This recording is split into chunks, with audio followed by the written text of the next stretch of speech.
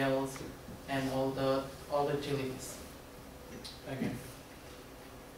Okay, another one is that's why we're asking American ones again to join the farm is by convoying California grapes.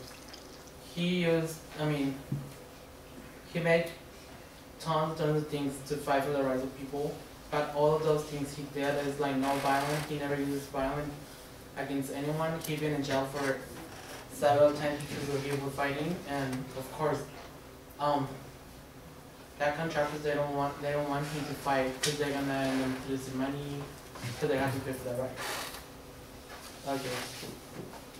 It is also an entire generation of young Americans who measured political and sociality in the 1960s and 70s. Millions of people whom boycotting grapes and other products became a social accepted pattern of behavior. In both quotes from his speech, we find that very well stated his credibility. We, we gave great statistics.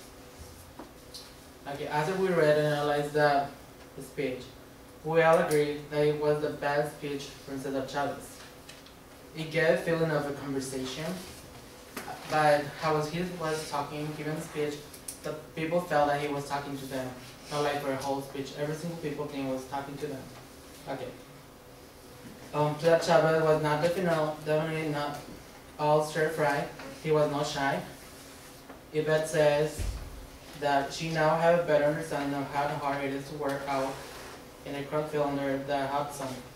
She also now understands how her parents and grandparents, aunts and uncles all felt back when they had to do this labor.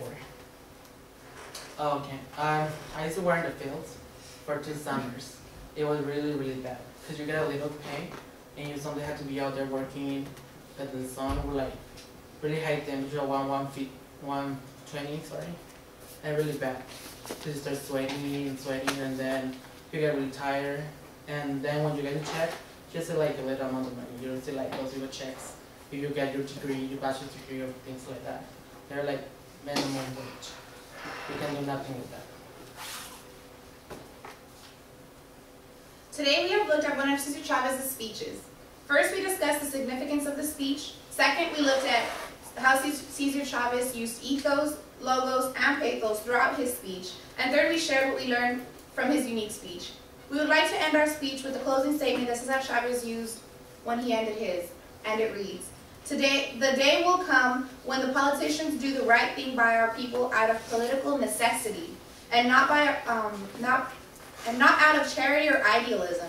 The day may not come this year, the day may not come during this decade, but it will come someday. And when that day comes, we shall see the fulfillment of that passage from the book of Matthew in the New Testament. The last shall be first, and the first shall be last. And on that day our nation shall fulfill its creed, and the fulfillment shall and the fulfillment shall enrich us, enrich us all.